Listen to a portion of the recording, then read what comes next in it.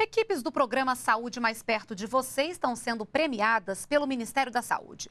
Os recursos vão ajudar a melhorar o atendimento e a capacitação dos profissionais.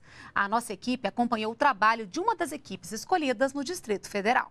De acompanhamento. Talita tem nove meses. Esta é uma das suas consultas no CD, Crescimento e Desenvolvimento, um programa de saúde da equipe de atenção básica do posto da antiga Vila DVO, atual Cidade Nova, no Gama, Distrito Federal.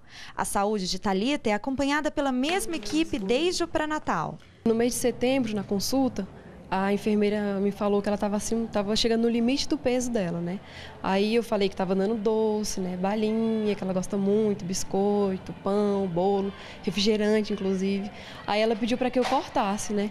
Porque a partir de agora seria mais fácil também mudar quando tivesse grande e o, e o peso ia diminuir, né? Que foi o que aconteceu, que agora ela não está mais no limite, não está correndo o risco de ficar obeso, né? Mas... Nós formamos vínculo com a comunidade e eu acho que isso permite que que o paciente, né, no caso a mãe, ela fique mais aberta para conversar com a gente, para contar algumas, algumas dúvidas, né? Coisas que elas acham que está errado.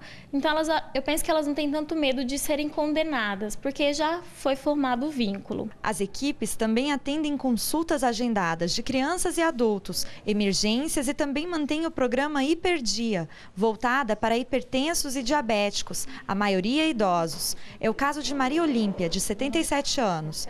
Ela não foi ao posto para a consulta que estava agendada este mês, a equipe de visita domiciliar foi até a casa dela para conferir a saúde da aposentada. Fico muito contente quando elas vêm.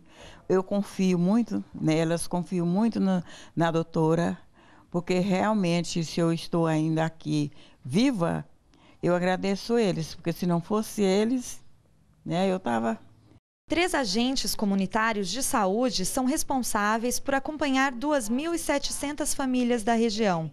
Os profissionais mantêm as informações atualizadas sobre a saúde dos moradores e monitoram os riscos que eles correm. Quando você está junto no dia a dia com a comunidade, você não é mais só um profissional de saúde, né? Você tá, cria um vínculo com a família, você passa a conhecer outros problemas da família, né? A tentar também resolver os problemas da família, não só com relação à saúde. Pela primeira vez, o Ministério da Saúde vai premiar as equipes de atenção básica da política Saúde mais perto de você.